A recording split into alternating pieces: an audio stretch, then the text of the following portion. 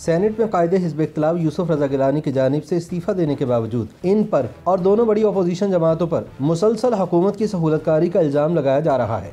यूसुफ रजा गिलानी की जानब से खुद पर लगा इल्ज़ाम धोने के लिए इस्तीफ़ा देने के बावजूद यकम फरवरी के रोज़ वजी खारजा मखदूम शाह महमूद कुरैशी ने इन्हें बिकाऊ माल करार दे दिया और इल्ज़ाम लगाया कि इनका इस्तीफ़ा सिर्फ़ एक दिखावा है और वो अपने अहदे से चिमटे रहेंगे।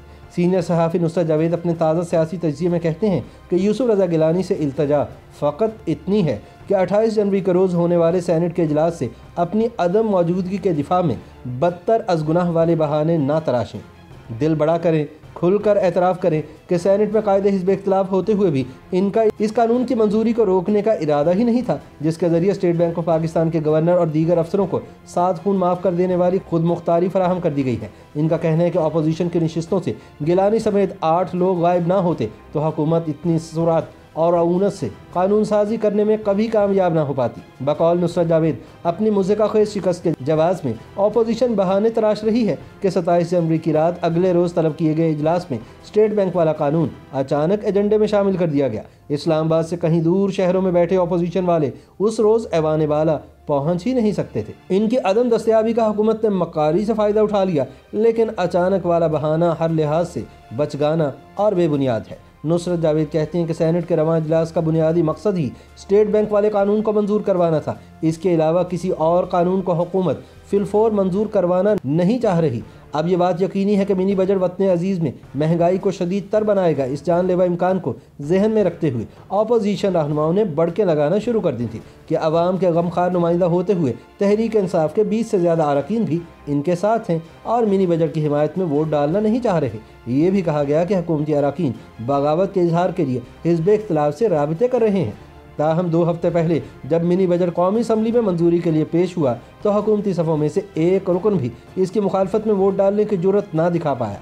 फिर वियाना माहौल का भरपूर फ़ायदा उठाते हुए हुकूमत ने एक ही नशस्त में। मिनी बजट के अलावा पंद्रह मजीद कवानीन भी मंजूर करवा लिए, मगर अपोजिशन इब के मार वाली खुद अजीती पर डटी रही। नुसरत जावेद याद दिलवाते हैं कि बज़ाहिर सौ अरकान पर मुश्तमिल ऐवान बाला में सतावन सैनिटर्स अपोजिशन की नशस्तों पर बराजमान हैं, और यूसुफ रजा गलानी इनके कायद हैं। वो कहते हैं कि नज़र आने वाले ये नंबर हकीकता दो नंबर हैं। जो सतावन अरकान इन दिनों सैनेट में अपोजिशन की नशस्तों पर बैठे नज़र आते हैं। इनमें से छः का ताल्लुक नाम नहाद दिलावर खान ग्रुप से है।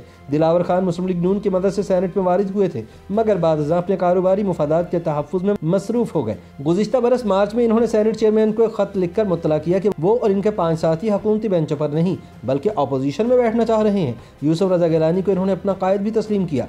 दिलावर खान ग्रुप की हिमायत के बाद यूसुफ रजा गिलानी को सैनेट में कायदे हिजब इख्तलाफ का मनसब हासिल करने के लिए मुस्लिम लीग नून और दीगर अपोजिशन जमातों की हिमायत भी दरकार न रही थी। दिलावर खान की क्यादत में जो ग्रुप उनके साथ अपोजिशन नशस्तों पर बैठा है, उसके अरकान ने चंद हफ़्ते कबल पार्लिमान के उस मुश्तर इजलास में भी खुलकर हुकूमत का साथ दिया, जहाँ एक ही रोज़ तैंतीस कवानीन मंजूर हुए थे। नुसरत जावेद कहते हैं कि बतौर कायदे हिजब इख्तलाफ, यूसुफ रजा गलानी का यह सियासी और इखलाकी फ़र्ज़ था कि वह बाकायदा ख़त लिखकर दिलावर खान और इनके हमनवाओं से इस्तफसार करते कि सैनेट में अपोजिशन नशस्तों पर बैठे हुए भी इन्होंने हुकूमत की हिमायत में वोट क्यों डाला। इनकी जानब से तसली वक्त जवाब न आने की सूरत में चेयरमैन सैनिट सादिक संजरानी से बाकायदा दरख्वास्त की जानी चाहिए थी कि दिलावर खान और इनके साथियों को अपोजिशन अरकान तस्वुर न किया जाए। वो अपने लिए आज़ाद नोयत का नाम इख्तियार करें और अपोजिशन से अलग नशस्तों पर बराजमान हो। गिलानी ने इस में भी कोई कदम उठाने से गुरेज किया। नुसरत जावेद कहते हैं कि यूसुफ रजा गिलानी पार्लिमान में नवारद नहीं सन उन्नीस सौ पचासी से वो पार्लियामेंट में हैं। अपने ठोस और तवील तजुर्बे की बुनियाद पर इन्हें अचानक वाला उज़र पेश करने से कबल सो बार सोचना चाहिए था।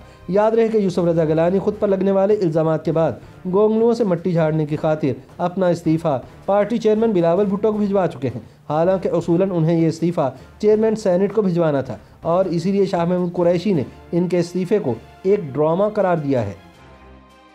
YouTube पर गूगली न्यूज़ देखने के लिए YouTube.com की सर्च बार में गूगली न्यूज़ टीवी टाइप करें। गूगली न्यूज़ के पेज पर सुर्ख रंग के सब्सक्रिप्शन वाले बटन पर क्लिक करना ना भूलिए। YouTube पेज पर अपलोड होने वाली वीडियो से बाखबर रहने के लिए बेल आइकन पर क्लिक कीजिए। आपको हर नई वीडियो के बारे में नोटिफिकेशन मौसू हो जाएगा।